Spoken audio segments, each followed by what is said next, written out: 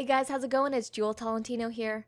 Alright, so in this video, I'm going to be talking about if the GoPro Hero 7 is good for vlogging.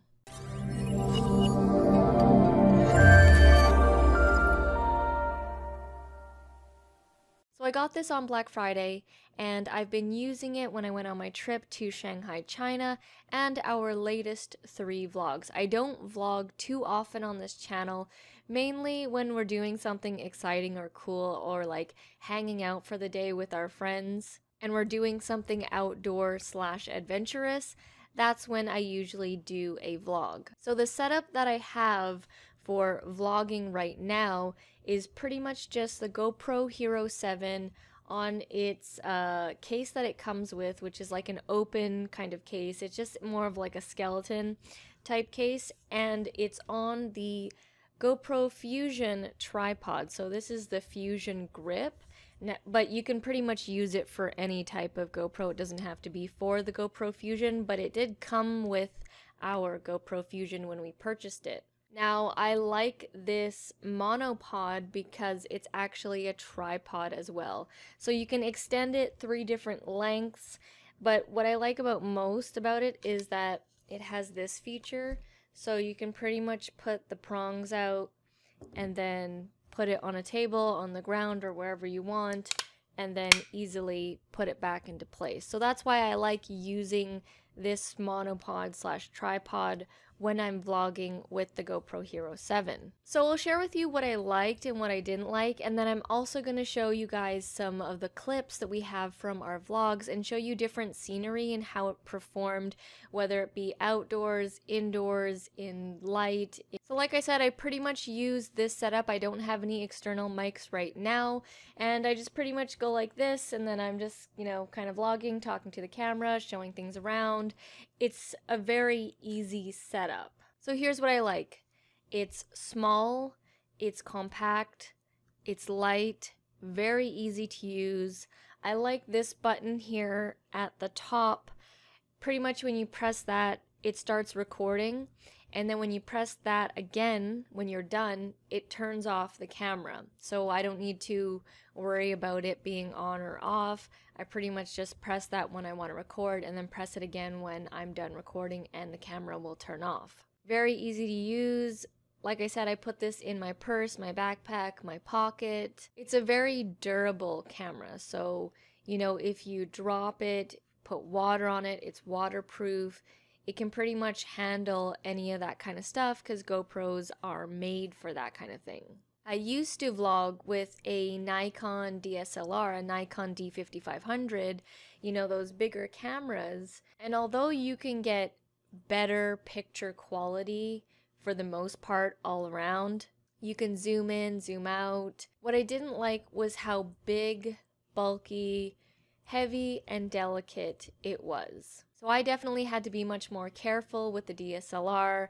I couldn't be throwing it around, couldn't have water on it, so I can't take it on our snow and water adventures. It wasn't easily compactable, like I couldn't shove that in my purse. It, it had to be in the camera bag, which is quite big and bulky. But it is a professional DSLR, so you are going to get more professional shots out of it. Now you do still really get good shots here on the GoPro. So I was vlogging with the heavier Nikon DSLR for a bit, but I realized after a while that, you know, we're usually on the go in the vlogs and I'm usually filming adventure type vlogs. And I don't want to have to worry about the camera breaking, getting wet, transporting it. It just wasn't as easy and fun to vlog with that kind of camera. I find much more ease when I'm vlogging with this because it's really small and really easy to take around and people aren't as weird about the camera like when you pull this out it's like oh it's a GoPro it's a tiny camera people aren't as self-conscious with it it's not too invasive whereas the other camera which was much bigger, had like a lens. There were times where I would be filming in places and I did have to get told to, you know, you have to put the camera away or you can't bring that in here. I also like that the GoPro comes with many different mounts, so you can place it in many different places. You can have the chest harness right here, you can have the wrist mount right here, you can put it on your helmet or hat, you can mount it on your bike, mount it on the side of a car. There's much more versatility with the angles and shots, whereas with the DSLR, I can I have to hold it. Like I can put it on the ground and put it on a tripod, but pretty much I'm gonna have to hold it if I'm moving around. So let's talk about the downsides to this. You know, it's really great, really small, really easy to use, but there are some downsides. So as I mentioned before, with a with a professional DSLR camera, you're generally going to get better video quality.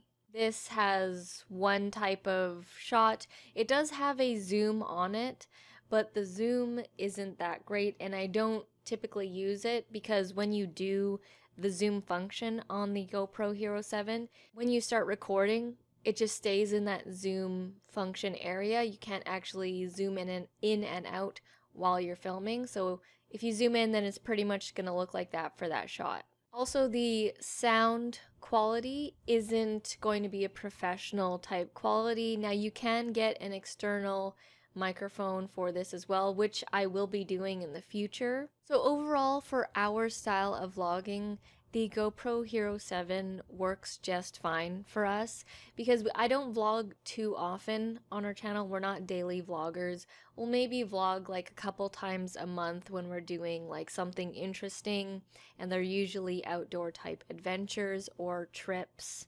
So for our channel, it's kind of like added bonus material. It's not the main focus of our channel as we mainly do tutorial videos, kind of like this one. So I'm okay with the quality that I get from the GoPro Hero 7. You can just take it on the go when you're on the go, which is what we're mainly doing all the time. So let me show you some examples of the three vlogs that I've done so far with the GoPro Hero 7. Okay, so this is our latest one where we went snowshoeing here in Vancouver at Grouse Mountain. This is outdoor in the like parking area. Hey guys, how's it going? It's Jewel Tolentino here. So as you can see, we are on the wilderness in front of a mountain. We are going snowshoeing for the first time.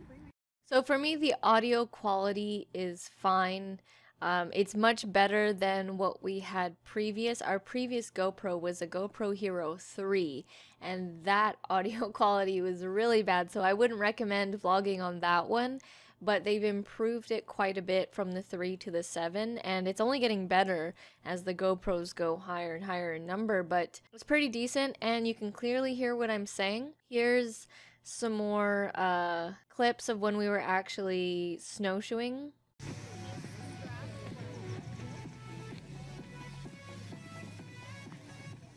Alright, got the snowshoes on. Phoebe's got all her gear. She doesn't need to rent anything.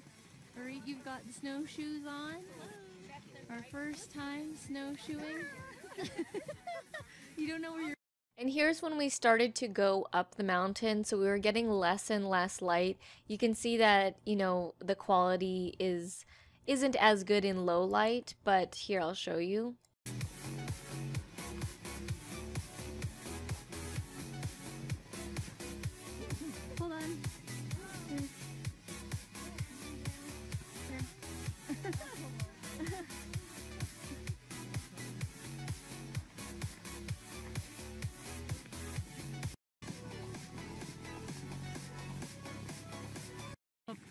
Mountain with duck shoes. And here's sort of the end when we were walking back towards the main area where there were lights again. Air is partially frozen right now. Jill did awesome for that. Okay, it was not a tour. It was a snowshoe workout. It was like a hike up the mountain with duck shoes. As you can see, Here's another example of when we were in downtown Vancouver and we were doing this like scavenger hunt thing. The sound of the traffic is a little bit louder, so you can get a feel for when you're outside. It's a little bit windy and there's a bunch of traffic happening. We've got our guide, Richard, who is like remote through the app, and we're just gonna do a strategy right now, try and figure out what street. So what happens is we have a list of things to look for.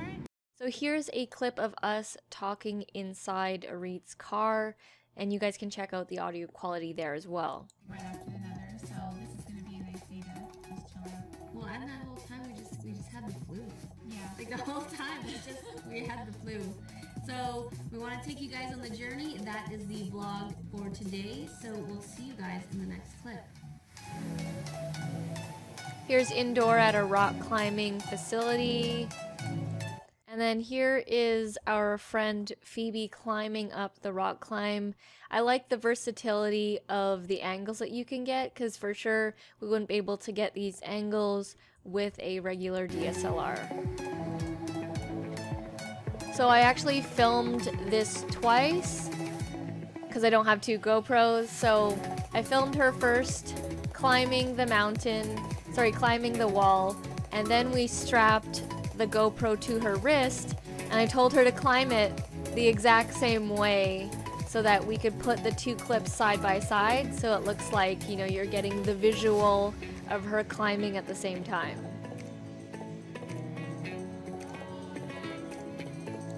So it really does depend what your needs are for your YouTube channel and for your vlogs. So I would recommend vlogging with the GoPro Hero 7 if you have a similar vibe to us in that you value how light and portable your camera is and how you can just, you know, put it in your bag, put it in your purse, pull it out, easy to use and just film the fun shots that you need to get. So if you are interested in checking out the GoPro Hero 7, the tripods, or any other links that I mentioned in this video, you guys can head down to the description below. Alright guys, thank you so much for watching, and I'll see you in the next video. Back, back from the dead.